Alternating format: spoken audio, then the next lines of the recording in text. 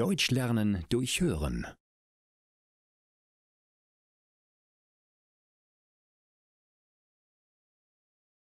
Schweizerdeutsch. Endlich sind Sommerferien. Tom möchte die Zeit nutzen und will seinen Freund Andreas besuchen. Er hat früher in Hamburg gewohnt und mit Tom zusammen Jura studiert. Aber jetzt wohnt er wieder bei seinen Eltern in der Schweiz. Deswegen können sich die beiden nicht oft sehen. Tom setzt sich in den Zug und fährt nach Bern. Sein Freund Andreas wartet am Bahnhof auf ihn. Hallo Tom, schön, dass du da bist, begrüßt er ihn. Hallo Andreas, mich freut es auch sehr. Wir haben uns schon so lange nicht mehr gesehen, antwortet Tom. Das stimmt. Komm, ich zeige dir meine Wohnung. Die beiden Freunde fahren mit einem Taxi zu dem Haus von Andreas. Er wohnt im ersten Stock. Unter ihm wohnen seine Eltern.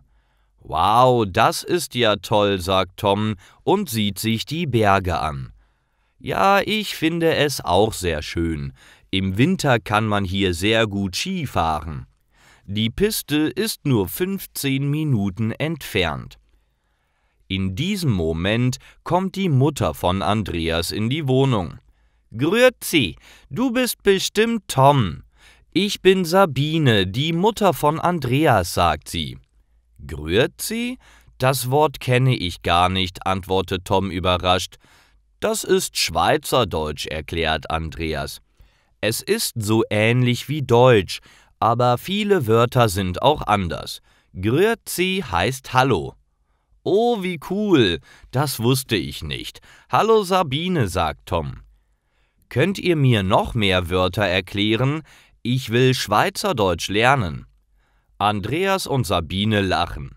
Ja, sehr gern. Ich kann dir ganz viel beibringen, sagt Andreas.